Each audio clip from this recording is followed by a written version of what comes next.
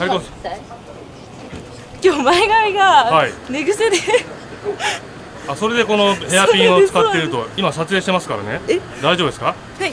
あ整いました。カリコミさん。はい。もう表情にはね気合が滲んでおりますけれども。はい。メンバー見ました？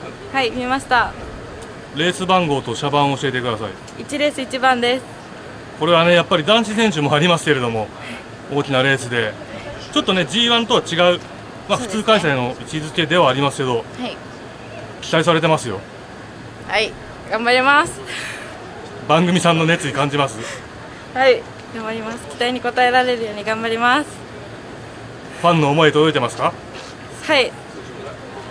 本当ですか、宇都宮からも応援たくさんいただいたので。うん。頑張ります。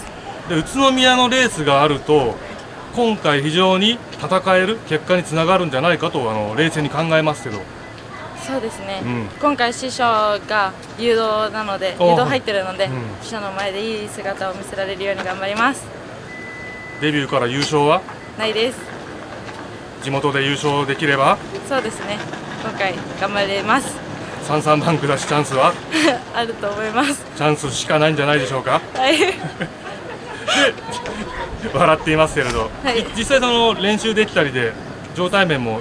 そうですね、うん。直前にミスズコの方あ松戸が使えなくて、はい。直前にミスズコの方で練習させていただいたのでその成果が少しでも出せればと思います。ではすごくね1レースから盛り上げてはい。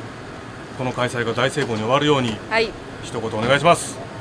えー頑張ります。応援よろしくお願いします